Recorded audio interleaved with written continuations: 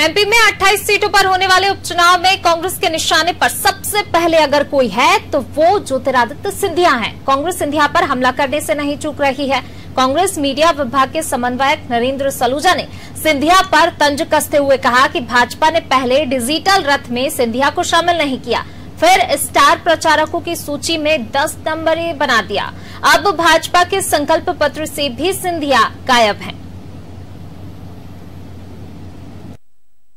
शिव ज्योति express रास्ते में कहीं पंचर पड़ी है। पहले डिजिटल रथ में से उनका फ़ोटो गायब किया गया, उसके बाद स्टार प्रचारों की सूची में उनका दस नंबर ही बनाया गया। उनके एक भी समर्थक का नाम शामिल नहीं किया गया और अब बड़े ही आश्चर्यजनक है, भाजपा अट्ठाईस को अपना संकल्प पत्र जारी कर रही है। चार पेज के संकल्प पत्र में भी ज्योतिरत्न सिंधिया का फ़ोटो नहीं है, एक और बड़ा अपमान।